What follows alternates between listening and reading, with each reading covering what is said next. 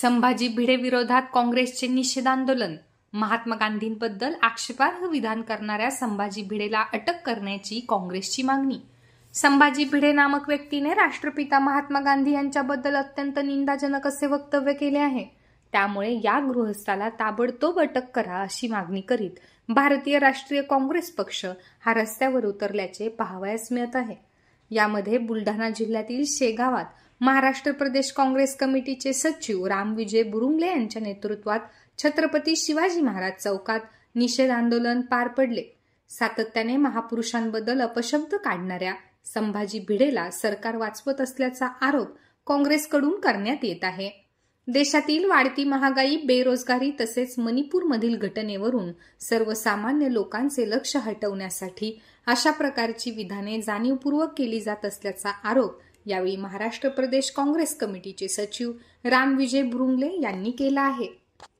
संभाजी भिडे यांनी अमरावती जिल्ह्यातील बडनेरा येथे राष्ट्रपिता महात्मा गांधी यांच्याबद्दल अनुद्गार काढले. ते गुजराती मुस्लिमांचे चिरंजीव आहे. असं राष्ट्रपिता महात्मा गांधीबद्दल बोलले.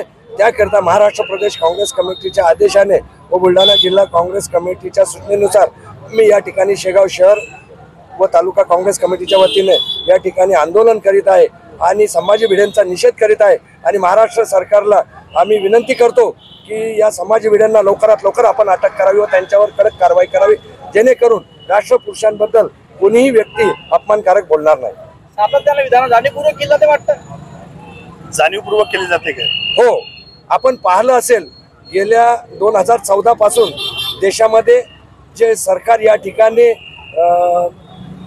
आहे ते सरकार आज त्यावेळेची परिस्थिती महागाईची बेरोजगारीची आणि आजची परिस्थिती याच्यामध्ये आमूलाग्र बदल झालेला आहे.